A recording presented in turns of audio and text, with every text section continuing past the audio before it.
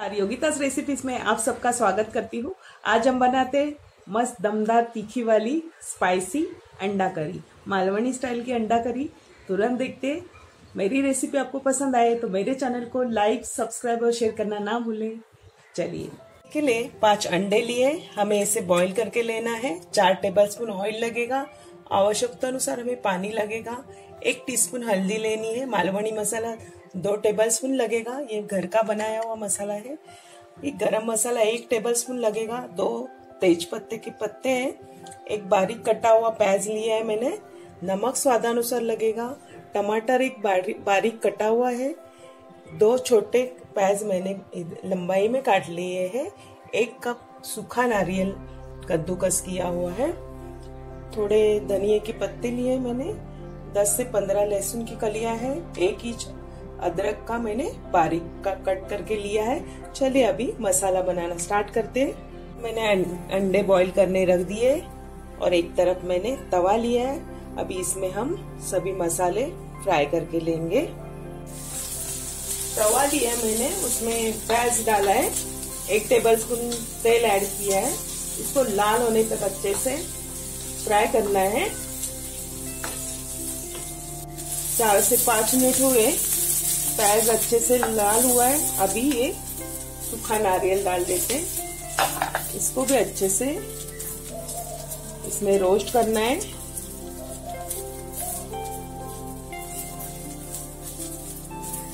मसाला देखिए, colour change हुआ है, अच्छे से भुन गया है। मीडियम हीट पे इसको फ्राई करना है। और इसमें अभी ये अदरक और लहसुन डाल रही हूँ। अभी गैस ऑफ़ करते हैं और ठंडा होने के बाद इसको मिक्सी में पिसवाना है। अच्छी तरह से पीसना है इसको। बारीक पेस्ट करनी। मसाला ठंडा हो चुका है, जो भुना हुआ था, उसमें मैं ये धनिया ऐड करूँगी और मिक्सी के बर्तन में अभी पीस लूँगी। इसकी फाइन पेस्ट तैयार करनी है हमें। मिक्सी में मैंने आधा कप पानी डाल के ये पेस्ट तैयार किया है, देख सकते हो। ऐसी पेस्ट रेडी हो चुकी है। चलो स्टार्ट कर देते हैं अभी। एक पतीला रखा है मैंने, गैस ऑन किया है।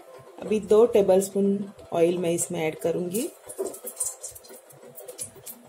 दो बड़े चम्मच ऑयल दिया मैंने। इसमें तेज पत्ता डालूँगी। दो तेज पत्ता डाले मैंने। एक छोटा प्याज काट के रखा था, वो डाल रही हूँ। अच्छे से रेड होने तक फ्राई करना है।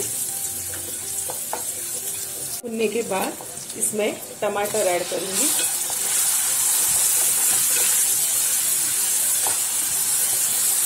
इसमें ये जो मालवणी मसाला है, कोकणी मसाला, वो डेढ़, दो टेबल स्पून ऐड कर रही हूँ मैं।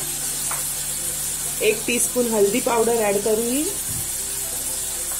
गरम मसाला पाउडर है, घर की बनी हुई। ये एक टेबल स्पून डाल रही हूँ। इसको मिला लेंगे अच्छे से।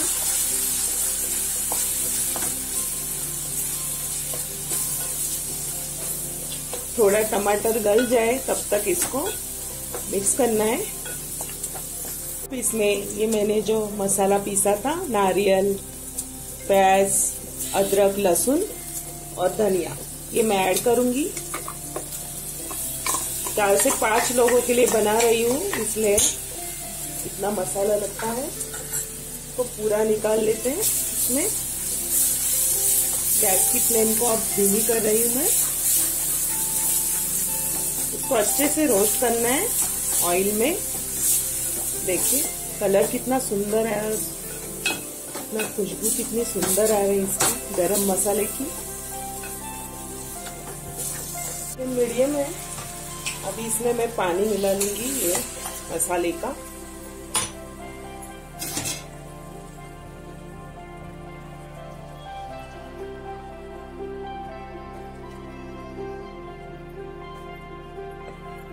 मैंने आधा कप पानी मिला लिया है। आपको जितनी ग्रेवी ठीक चाहिए, पतली, गाढ़ी, उतना आप पानी ऐड कर सकते हो। मैंने इतनी ग्रेवी रखी है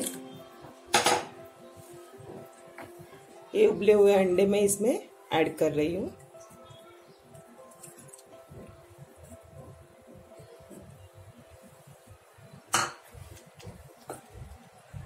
अब अब इसमें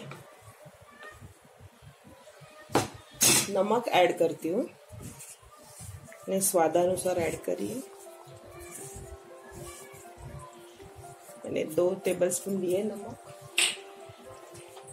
अब इसको ढक के रख देते धीमी आँच पे। पाँच मिनट के बाद देखते इसमें अंडा करी में अच्छे से उबाल आया है, देखिए। कलर भी कितना सुंदर आया। एरोमा भी फैल गया मस्त। अपनी अंडे का, अंडा करी रेडी हो चुकी है। अभी गैस ऑफ़ कर देते हैं।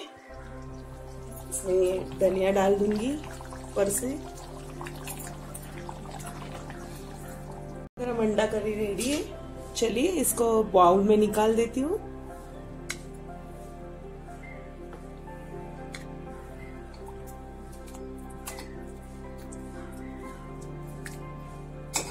करी रेडी हो चुकी है। आप भी ऐसे बनाइए। मुझे बताना ना भूलिए कि कैसी हुई थी।